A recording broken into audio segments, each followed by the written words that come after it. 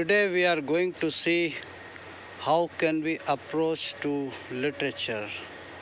How can we appreciate a good poem or a story. It is important from the point of view of better understanding.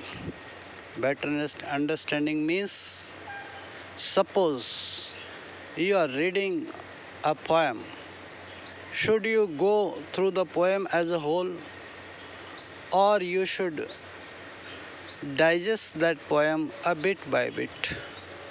Same applies to this story also. Sometimes you find there is a big story and there are multiple characters and you need to join those characters to get the overall imprint in your mind.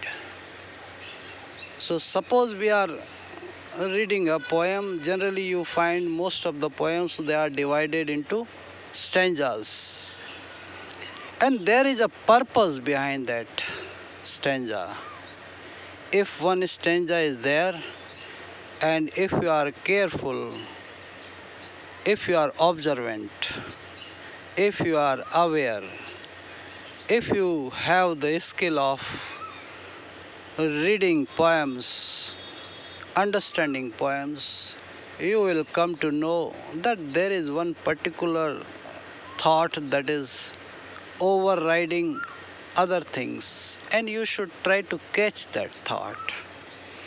You should try to find out the question which this particular stanza is answering when you are a student you can take that question for your exams when you are just reading for awareness still if you have the habit of note making it is always helping you in a, in a long run.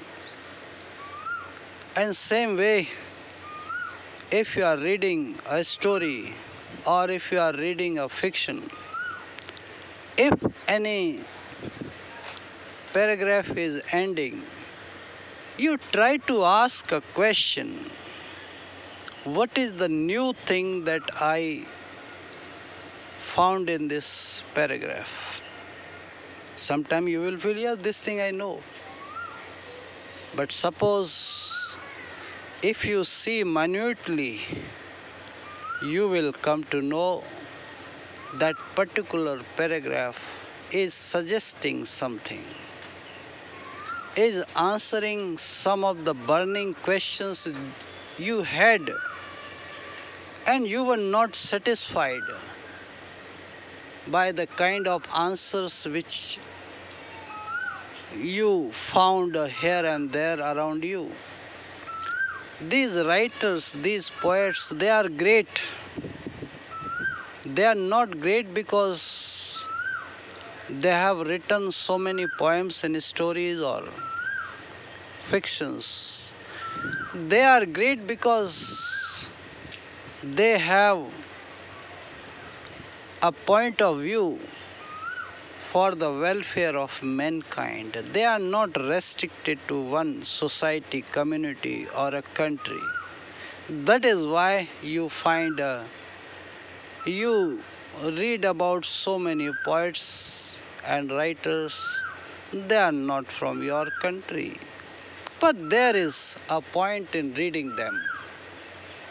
There is an overriding fact that these people, these great people, you can say, these great men and women of the history, they wanted to help the coming generations with their own observations, own experiences, with their own lives.